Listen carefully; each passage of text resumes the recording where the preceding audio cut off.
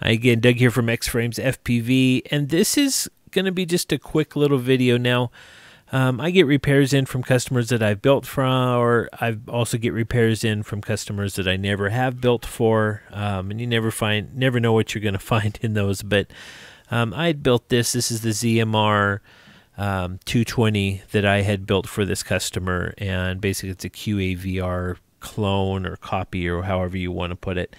Um, but he had crashed it and had some um, kind of fried couple motors. So we put these motors on it. And I've talked about these motors before, but I, I wanted to just give you an idea of, of what just changing a motor can do. So this had the DYS SE2205 2300 kV motors on it and those are good motors. They're um, around eighteen dollars a piece. You know, some of them I have had problems with uh, some balancing issues and being kind of noisy. And so, um, when this customer kind of toasted a couple of them, we decided let's put these motors that Surge has um, on clearance over there at pyrofliprc.com. And these are the ZMX. The, I'm sorry these are the Hyperlite V2s, and um, they are a fabulous, fabulous motor. And um, the he's gone now to the Hyperlite V3s, which are the 2206, and so um, he got a really good deal on the V2s. So he put them on sale. They were normally 2158, and they are now 1299. So um, if you guys have a chance, if you need some motors, buy up a bunch like I did because I'm just telling you they're great motors. But when um, I built this previously with the DYS motors and I spent, you know, quite a bit of time getting it tuned and got a good tune in it on it.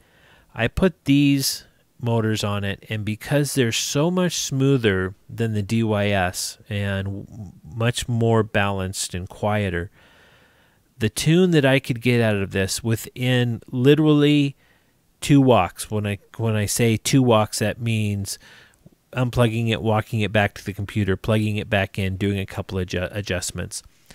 And within two walks, I had this thing, or two tries, I had this thing dialed in. It was so easy to tune.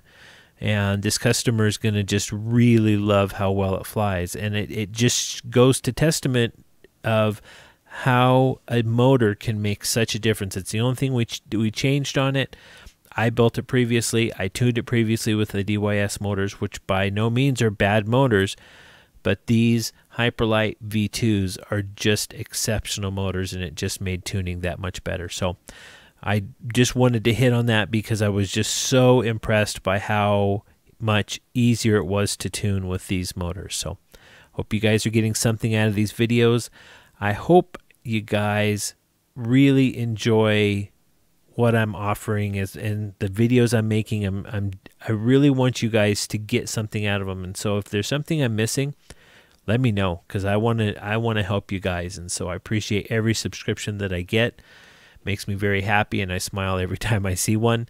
So hope you guys have a great day. Check out my website xframesfpv.com and I hope you get some time to fly